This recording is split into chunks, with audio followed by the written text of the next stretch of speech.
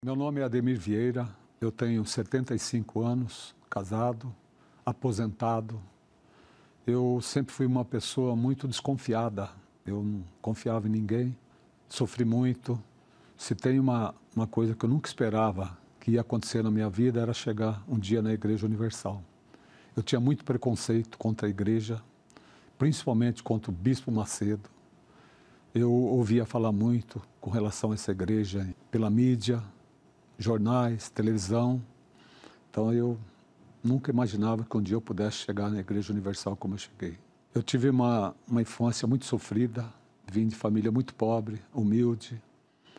É, sofri muito na mão do meu pai, minha mãe também sofreu. Então eu cresci com muita revolta dentro de mim. Então eu não aceitava que ninguém me passasse para trás.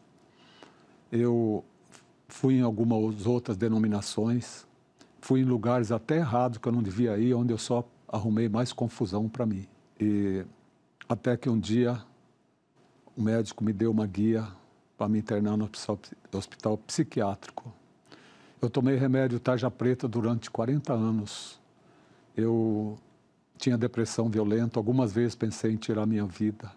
Não queria viver mais. Eu vivia trancado no quarto seis, sete dias. Só chorava, não tinha vontade de me alimentar. Quando eu ouvi essa palavra do médico, né, para o senhor não tem laboratório, não resolve mais, eu vou encaminhar o senhor para um hospital psiquiátrico. Aí eu vi que eu não tinha mais aonde correr, porque eu já havia ido em vários lugares e não encontrei a solução para o meu problema. Foi assim que eu cheguei na Igreja Universal, depois de tomar chá. Eu costumo dizer que eu tomava chá em outras denominações, mas eu estava precisando era de um remédio forte. Esse remédio forte eu só encontrei na Universal. Minha esposa, ela já era da Universal há mais de 30 anos. Eu não sei por que alguma coisa me dizia que eu não, não, não podia proibir ela. Alguma coisa me impedia de proibi-la de ir para a Igreja Universal. E graças a ela, né, que eu estou aqui hoje, primeiro Deus, segundo a minha esposa, terceiro a Igreja Universal. Quando, então, conforme eu disse, quando o médico me deu uma guia para me internar no hospital psiquiátrico, eu falei para minha esposa, agora eu vou para o seu hospital. Porque eu fui em várias, eu, ela ia na Igreja Universal, eu ia em outras, mas na Igreja Universal eu não ia, não aceitava. Eu falava para ela que jamais eu vou relar meus pés nessa tua igreja. Fizeram lavagem cerebral em você. Você não percebe? O Bispo Macedo, um ladrão, entendeu? Sempre te roubou, fica tirando dinheiro dos pobres viu o que falou lá na, no, no, naquele evento do Maracanã, que ele saía com sacos de dinheiro. Ele não, o povo dele saía com sacos de dinheiro, entendeu? Então, eu não aceitava, mas de jeito nenhum.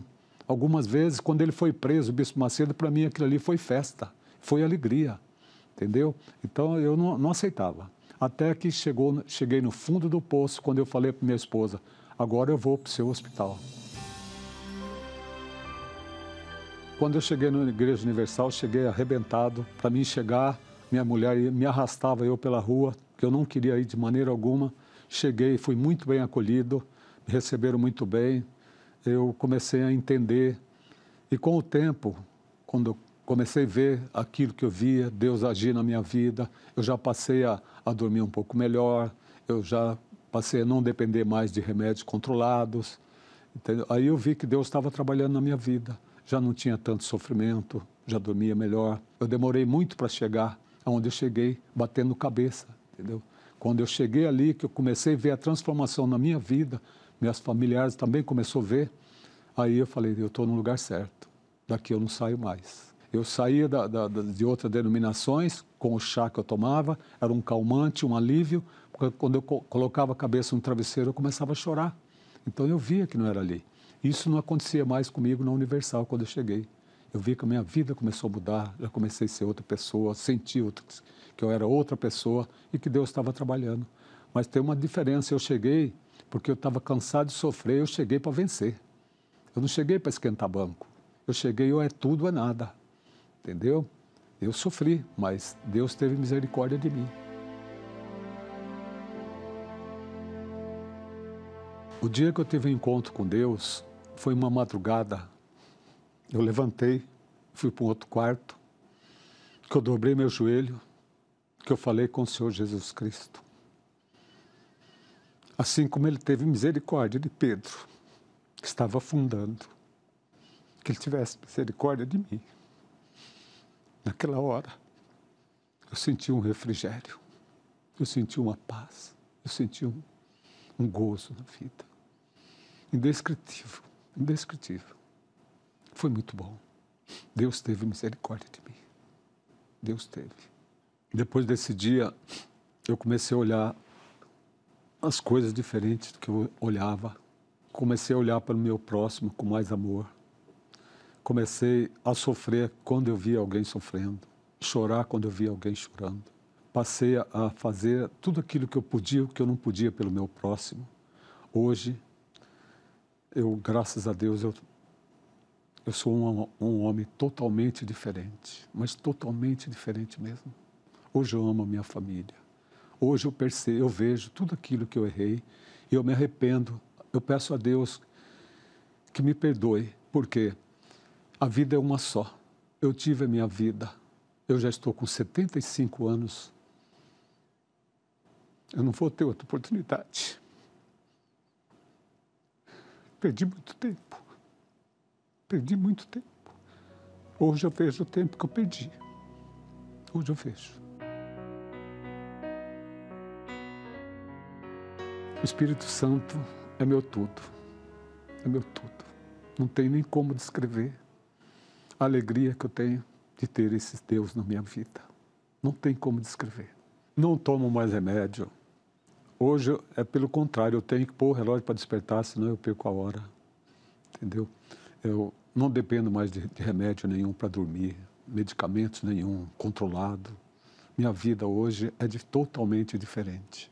Hoje para a glória de Deus, eu vivo no céu com relação à minha vida com Deus. A última vez que eu passei no psiquiatra, eu falei para ele assim, era uma psiquiatra, falei, doutora, essa é a última vez que a senhora vai me ver aqui. A senhora não vai mais me ver aqui. E realmente foi. A partir daquele momento, nunca mais voltei no psiquiatra, nunca mais tomei remédio de tarja preto controlado. Hoje, graças a Deus, eu sou feliz com Jesus. Hoje, pela misericórdia de Deus, eu sou obreiro da Igreja Universal. E se tem uma coisa que mais me alegra, é eu poder estender minha mão, assim como um dia alguém estendeu para mim quando eu cheguei.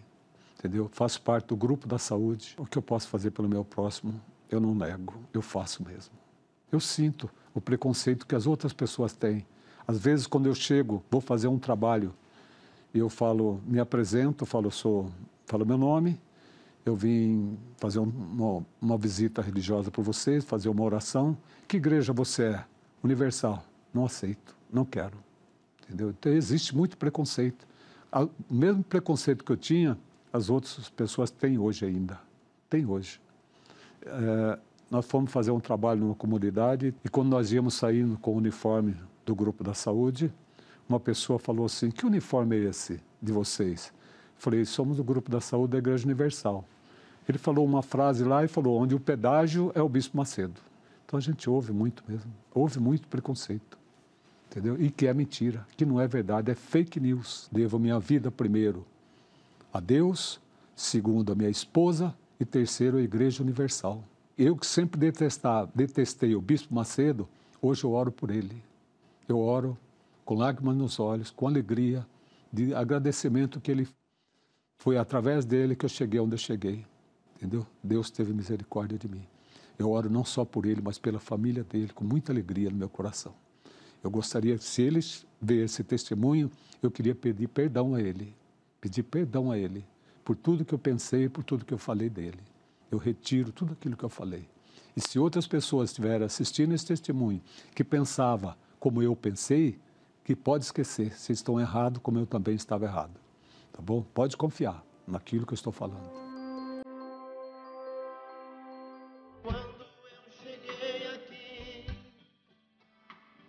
Kapalı